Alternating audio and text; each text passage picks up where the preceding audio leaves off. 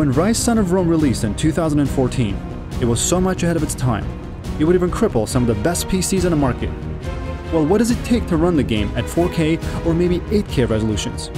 To answer that question, we have a Tesla P40 graphics card that costs $6,000 and we're going to test it at 4K and 8K resolutions today. In order to test the GPU, I've set all the graphical settings to maximum and left super sampling off. In the second part of this test, I'm going to increase the super sampling to 2x in order to render the game at 8K resolution but display it at 4K. This means that our Tesla P40 will be stressed as if it was running the game at 8K resolution. The power of the NVIDIA P40 GPU allows the game to run at 4K 60 at all times.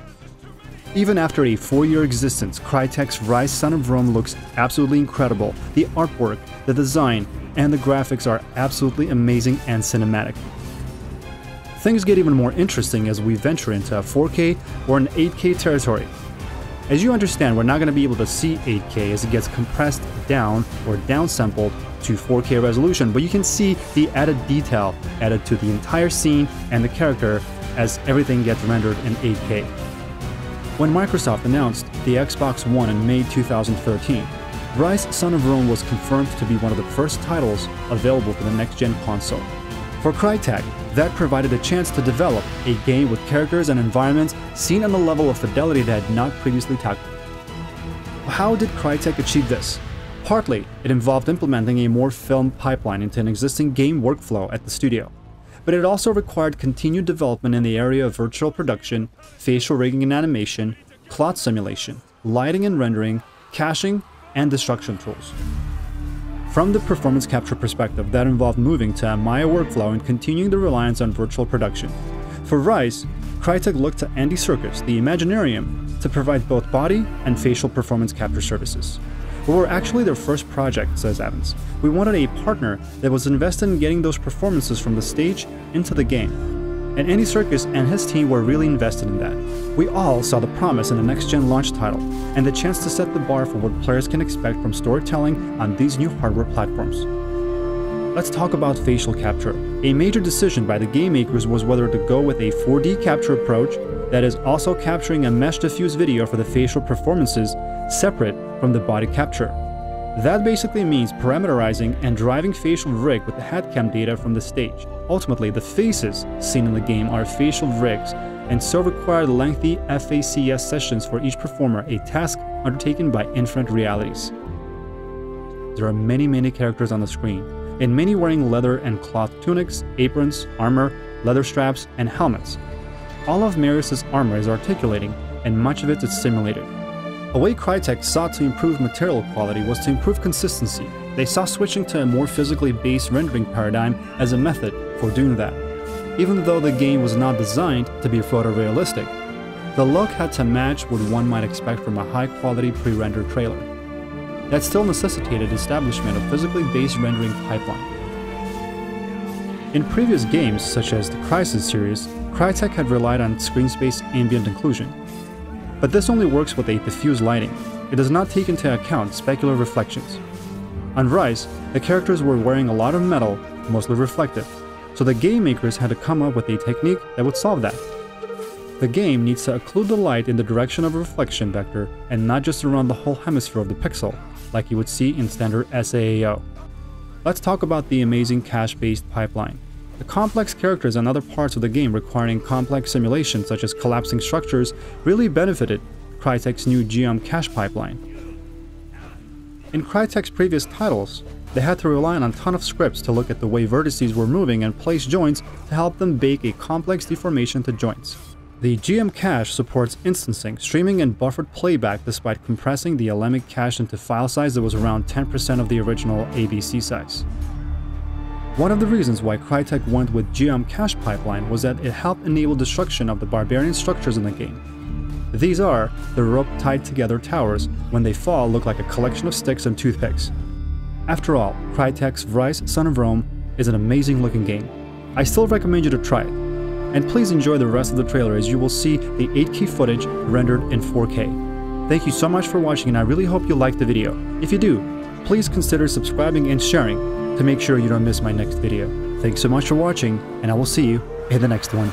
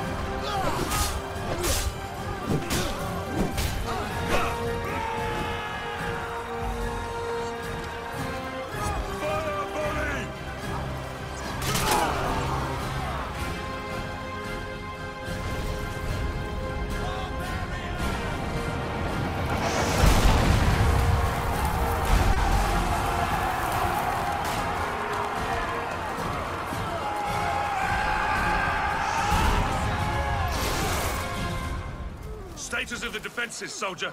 Yes, sir. Most of the 18th Legion is still combat effective. We have three auxiliary units at your command, Scorpios, Archers, and a catapult nest.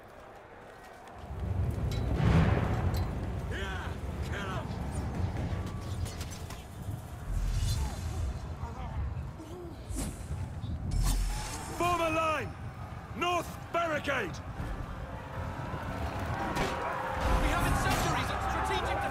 Defense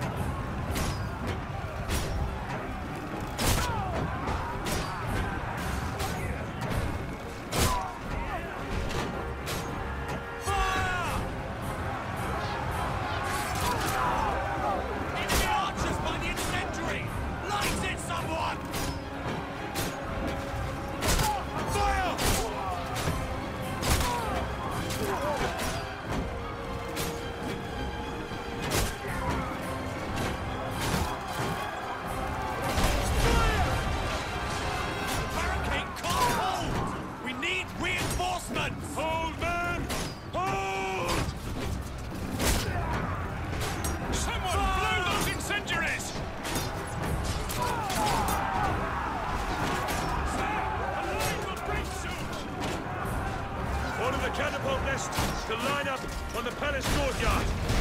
Fire on my command!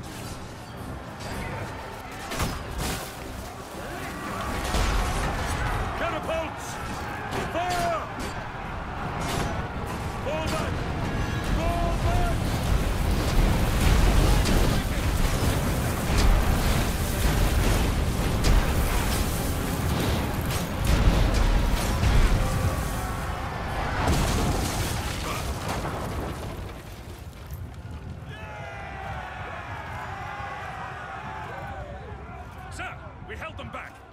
Only a handful managed to slip by us into the palace.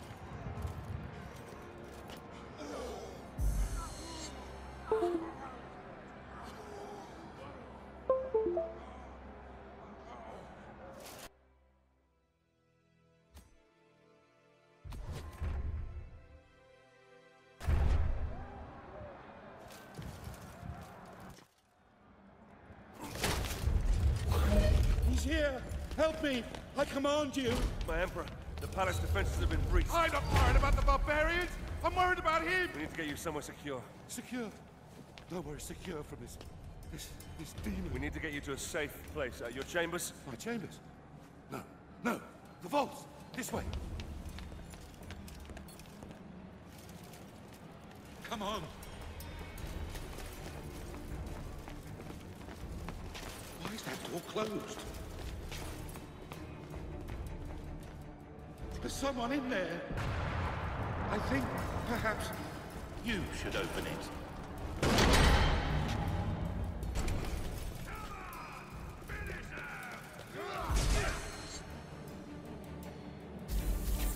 Here comes a general!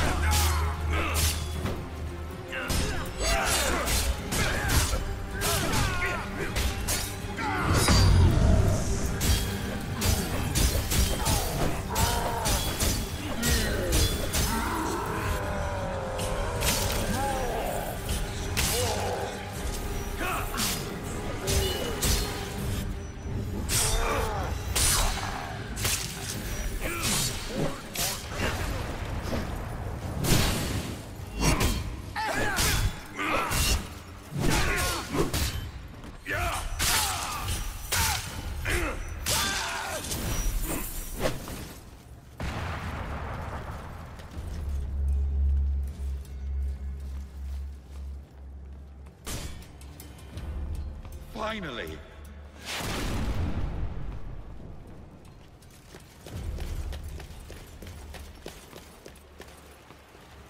Stay back, my Emperor. There could be more of them hiding in the shadows. Now you burn, Roman!